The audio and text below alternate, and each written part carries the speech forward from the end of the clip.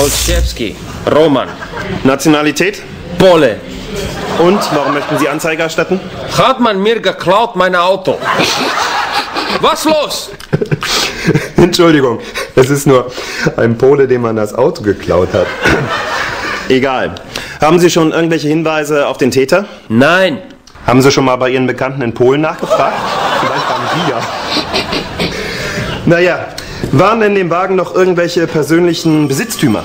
Persönliche was? Naja, Sachen, die Ihnen gehören. Tasche, Hut, ein Brecheisen. Jetzt komm, komm, genug! Willst du damit sagen, dass jeder Pol ist ein Dieb? Schon gut. Tut mir leid. Die dummen Vorurteile. Sie wissen schon. Hier, Sie müssen nur noch einmal unterschreiben. Also, Nehmen Sie meinen. auf Wiedersehen. Was? Ach, ähm, nichts. Bin noch mal kurz weg. Mir einen neuen Kuli kaufen. Wo ist denn mein Portemonnaie? Und meine Schreibmaschine? Heinz, hast du?